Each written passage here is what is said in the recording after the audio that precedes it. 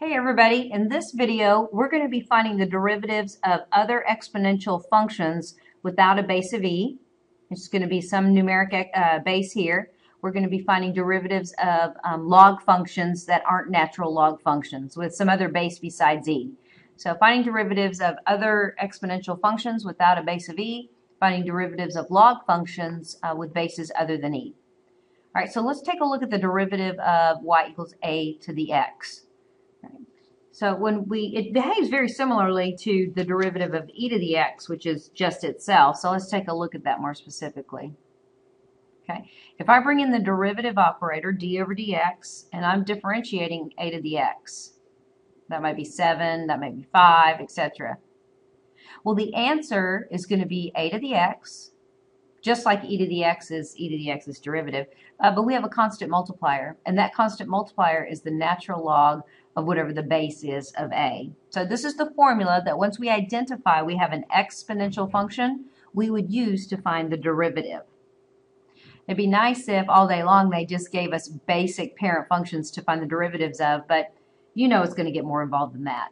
All right, let's say that we have an exponential function whose base is some number, but the exponent is more composite. It's not just x. It's not just basic. Okay, um, then that's going to require the chain rule. All right, so what we notice here is that we have a derivative of an exponential function. So that answer is going to be the function itself times the derivative of the inside function, which is going to be the exponent with respect to x. So that would be du. All right, times, and then we have another factor here. Okay, so it's not just simply the chain rule this way. We're also going to multiply by the natural log of the base. And once we know what that base is, that number value, this is just a constant multiplier. So that's it. Those are the two rules. So let's do a few examples uh, using those formulas. Okay, so here are examples.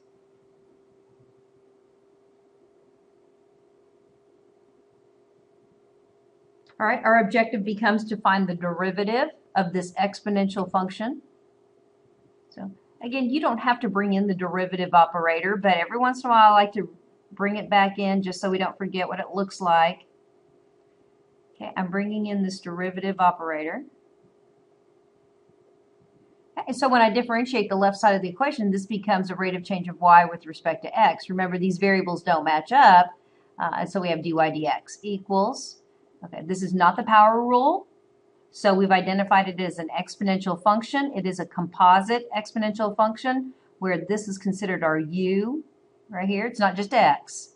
So the derivative is the function itself times the derivative of the u, which is negative 7x, times the natural log of the base, which happens to be 3. And a little cleanup would have you find this to be negative 7. Okay, so yeah, what's common practice? How do we usually manage all of you know these items here? Well, the way I usually see it is negative 7 ln3, and you might see that all put in parentheses, um, times 3 raised to the negative 7x. There might be another set of parentheses around this exponential part too, but um, we just want to make sure that we know that we're not multiplying the negative 7 into that base. That's not something we can do. So this is the derivative of that given exponential function. Okay, one more.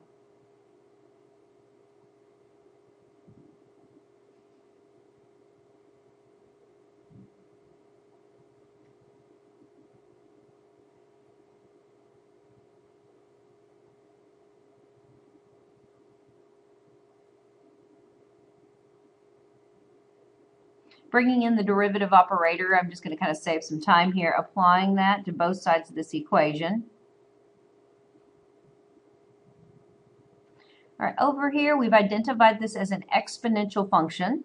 So we know the answer is going to contain the function itself.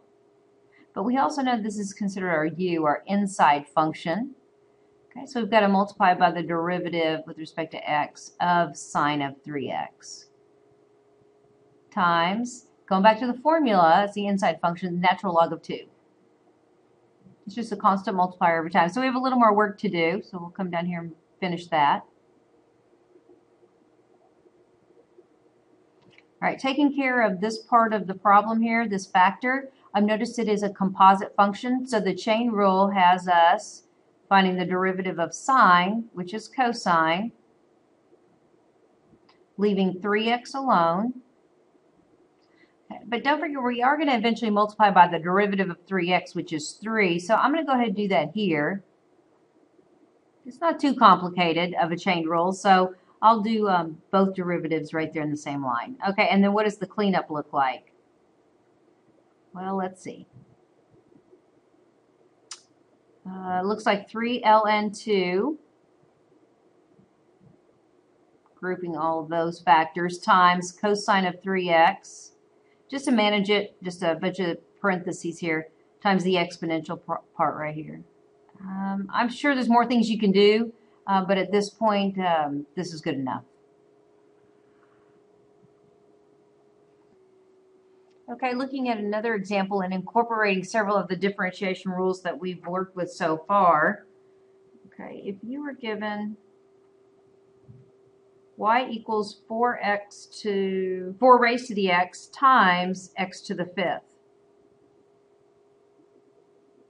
Okay, so when we look at this problem right here, how do we proceed if I'm going to find the derivative? Well, the first thing I notice is that I have a product of two variable factors, so I'm going to identify my f and g functions. Uh, and I'm putting my plan together. It appears that I'm going to end up with uh, having to use the product rule. I didn't bring in the derivative operator here. We have our hands full with that product rule. So let's do the setup. The first factor left alone times the derivative with respect to x of x to the fifth. Already noticing these variables agree. There's no implicit differentiation. Plus the second factor times the derivative of the first. Already thinking about what's going on here, that's an exponential, so that's the new lesson, the new skill we're learning. Uh, I'm going to go ahead and use parentheses to help me manage my work. I'll decide later if I need to remove them or not. 5x to the fourth. Simple derivative here. Okay, thinking about this derivative, now I have changed gears in my brain. Now I have to use the exponential rules. This is not a power function, so I'm not using the power rule. I've identified the type of type of function, and so it requires the appropriate differentiation rule. So this derivative is itself times the derivative of the exponent, which is just 1, times the natural log of the base, which is 4. Um, you've done the calculus part. All you have to do is clean it up. Uh, I, I, suppose I would leave this um, term the way it is here. Uh, I guess you could switch the parentheses. I don't see any benefit in doing that. Um, I guess, or times 5x to the fourth. I, I wouldn't take that 5 and multiply into the 4 for sure. I'm just going to leave it the way it is. Plus over here, um, just a personal choice of how you want to arrange all these factors. It's, it's certainly up to you.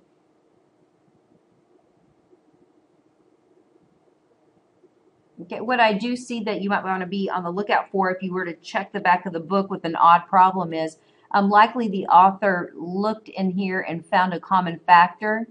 And if you try and look in here and find that common factor, you're going to see that you can divide a 4x out from both terms. And it appears that x to the fourth is appearing as a common factor in both of these terms too.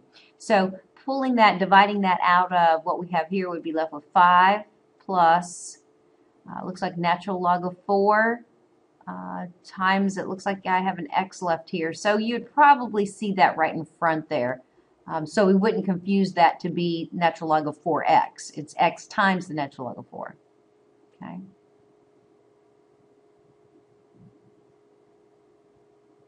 All right, so that, that may be something that you guys, you do see. All right, let's look at another example with this new um, differentiation rule. What if we have this quotient?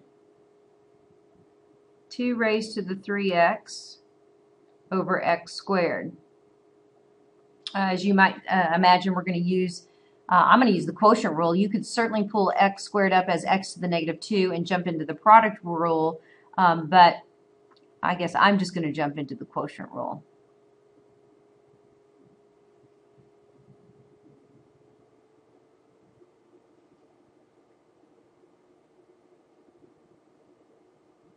Minus the numerator times the derivative with respect to x of the denominator.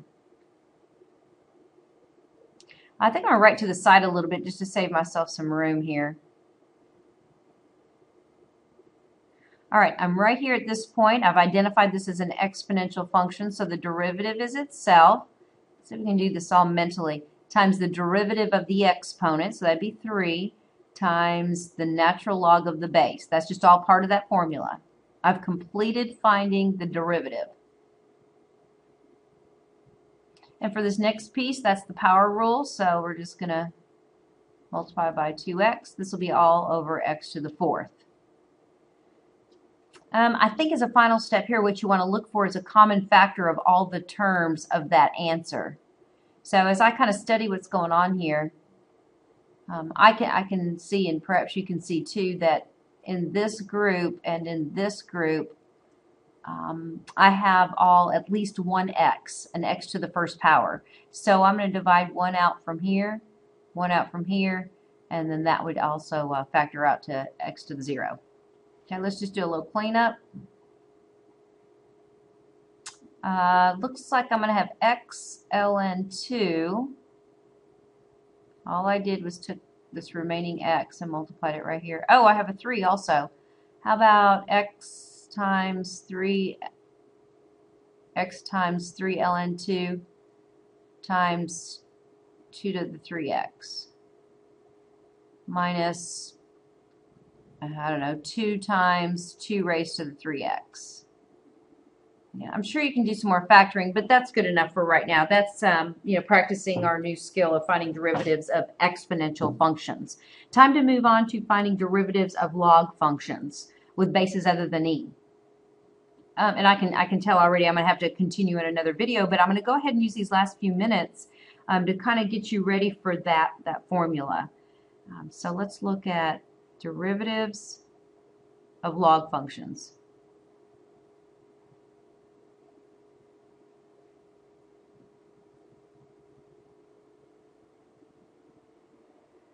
Okay, I'm going to take you back to something in your past. It's been a while. Um, but for example, let me, before I get into these derivatives, let me kind of come over here and, and you can kind of just absorb this and watch and then come back to the formulas in a minute. But I kind of want to take you right here to this point where I say, hey, can you find this answer mentally without using a calculator?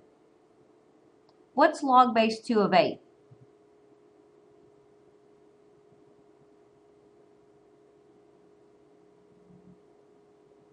Okay, well, I'm still here. Log base 2 of 8. That is saying to you, if you guess 3, 3 is the right answer. Okay, this is saying to you 2 as a base to what power gives you an answer of 8. 2 to what power is 8. And you might remember coming out a log form and, and setting this up um, in exponential form. Okay, so that's, that's well and good and everything, but how do I find log base 2 of 9? I mean, 2 to what power is 9? Well, of course, my answer is going to have to be a little bit more than 3, 3 point something, something small. Well, I can't do that mentally. How do I do this on the calculator? Okay, how would I find this? Well, you're thinking, well, hey, those calculators with the new software, I just call up that template and I type it in and it gives me an answer.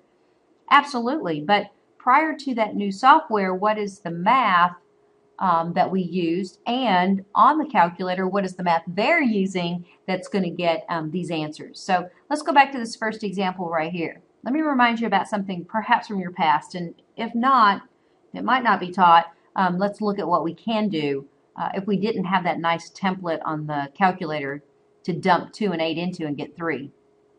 And, and actually, it's what the calculator's doing. Okay, so we would take, it's a change of base is what it's called. You take log of the number, set up a fraction, and divide it by log of the base. So on your calculator, we did have a base 10 button. So when you did log of 8 with the log key on the calculator, divided by log 2, that answer that spits out from the calculator, I encourage you to try it, is 3.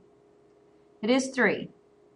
Okay, we also have an ln, a natural log button on the calculator. So would I still get 3 even if I use the natural log key? Try it. Natural log of 8 divided by natural log of 2. It's also equal to 3. As a matter of fact, it doesn't matter what base you have here, you're still going to get 3 when you divide log of the number, no matter the base, divided by log of 2 here. no matter these bases are here. And I know that seems strange, but that's the way that you can do that on the calculator. Okay, and that's going to help us when we think about the derivatives of the log function as well. Because we can do a change of base on this as a matter of fact. Okay, so um, I think I'll continue the next video by starting with this right here.